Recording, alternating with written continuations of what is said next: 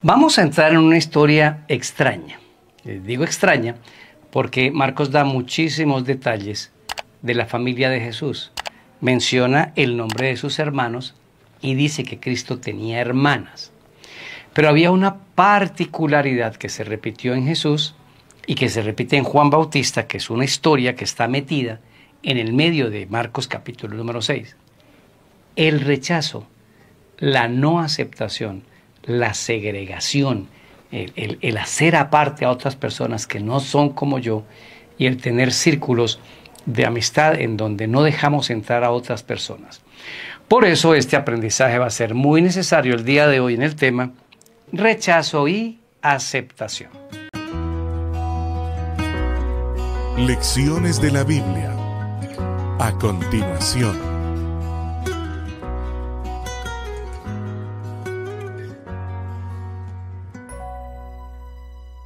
Bienvenidos a Lecciones de la Biblia, un espacio para estudiar y entender la palabra de Dios.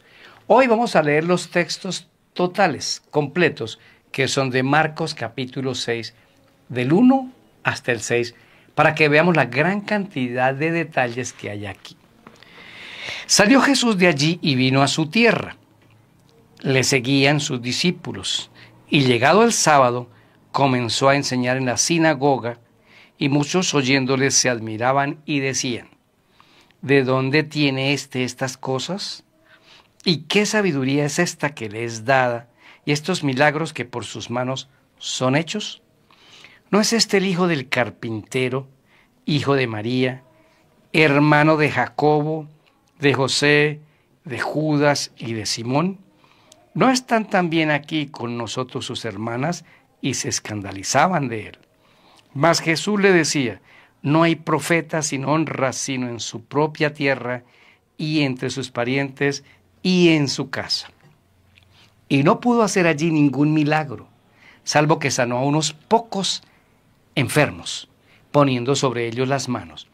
Y estaba asombrado de la incredulidad de ellos y recorría las aldeas de alrededor enseñando. Primer punto, la familia de Jesús. Está María, está José, que son sus padres humanos, María es la madre. Es, es un detalle muy interesante que Jesús tuviera hermanos con nombres parecidos a los de sus discípulos. Judas, Simón, Jacobo y José.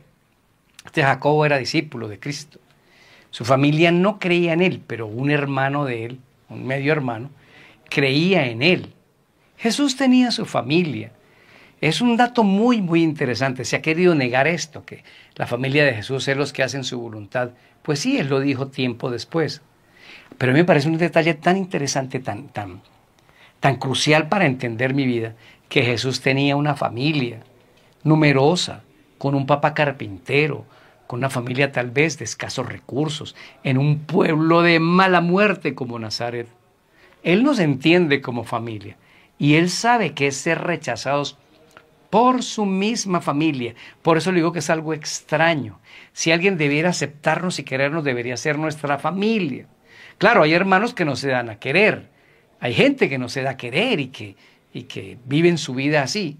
Pero lo más normal es que entre familia nos, nos querramos mucho, que nos demos muchísimo amor.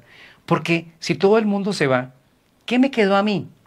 Pues mi familia.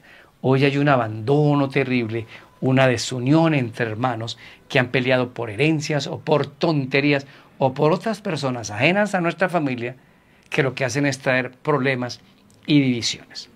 Punto 2. La incredulidad no produjo ningún milagro ahí. Poquitos milagros. Debemos creer en Cristo, debemos creer en Él. Porque miren que eh, después de este relato aparece la historia de la muerte de Juan el Bautista, porque Juan hace lo mismo que Jesús, habla y Juan denunció el pecado y por eso fue llevado a la muerte a través de Herodes por una trama bien maluca de Herodías, la falsa esposa que tenía porque era la esposa de su hermano Felipe y estaban en, en adulterio, en fornicación. Hoy necesitamos creer en Cristo. Su familia no creyó en Él, pero yo sí quiero creer en Él. Quiero seguir creyendo en ese Jesús que es la solución a nuestras necesidades.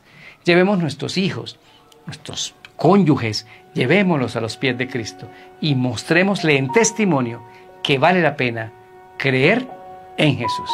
Oremos. Buen Señor, gracias porque Jesús tuvo familia y nos da ejemplo para resistir los problemas que tengamos en nuestros hogares. En el nombre de Jesús. Amén. Soy Daniel Herrera y deseo para todos un día lleno de bendiciones.